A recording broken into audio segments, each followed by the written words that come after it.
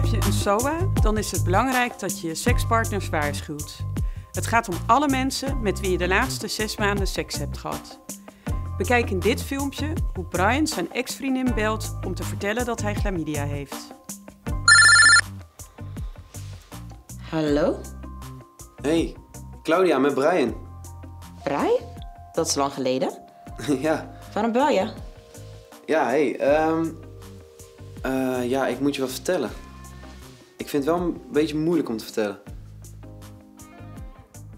Ik, eh...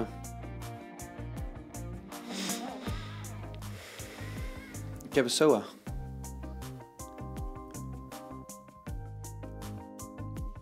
Claudia, Oké. schrok je ervan? Ja, denk je? Ja, ik, ja, ik, ja, ik vind het echt niet leuk om te vertellen, maar ja, ik, ik schrok er zelf ook van toen ik het hoorde. Gaat het? Sinds wanneer weet je dit? Eh, ja, sinds vanmorgen. Ik heb vorige week een test gedaan en het bleek eh, dat ik chlamydia heb. What the fuck? Chlamydia? Ja. Ja, ik, ik, Van mij kun je het niet hebben. ja, het maakt niet uit van wie het hebben, maar ja, er is dus een kans dat je het ook hebt. Ja, ik heb niks hoor. Ik heb nergens last van. Ja, dat, dat zei de dokter al, maar het zou dus kunnen zijn dat, dat je het wel hebt, maar er niks van merkt. Heel veel mensen hebben dat. Dat ze het niet merken, maar wel hebben. Kan je een SOA hebben zonder dat je het merkt? Ja. Ja, maar daarom bel ik je nu dus. Ik, ik, ik, ga, je gewoon, ik, ik ga je gewoon nu helpen. Gewoon, want ik heb... Ja, toch? Want je wilt er zo snel mogelijk vanaf, denk ik, toch? Als je het hebt. Ja, tuurlijk. Ja, ik, ik snap het. Maar dan kan het ook dat ik chlamydia heb van jou. Ja, dat zou dus kunnen. Maar of ik heb het van jou. Maar ja, dat maakt toch niet uit? Het is toch de bedoeling dat we er zo snel mogelijk achter komen of je het hebt. En dat het in ieder geval wel weggaat.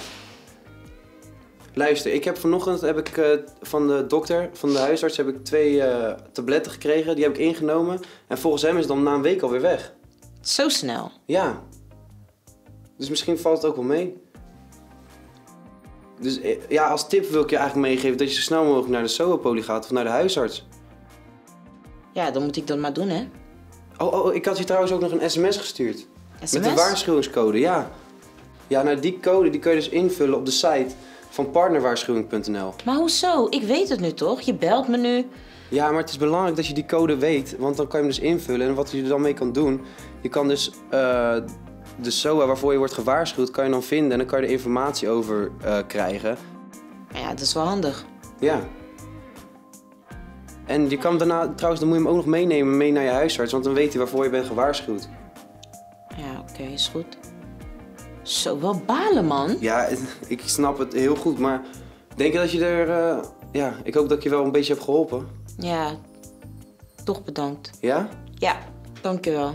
Oké, gelukkig. Oké. Als je trouwens, als je er nog over wil praten of zo, dan kan, ja, dan eh, kunnen we ook wel eens gewoon even afspreken misschien. Is goed? Ja? Ja. Oké, Oké, tot snel. succes. Dankjewel. Doei. Jij ook. Doei. Je ziet het, zo kan het gaan. Doe het gewoon. Waarschuw je partners. Dan kunnen zij zich ook laten testen en zo nodig laten behandelen.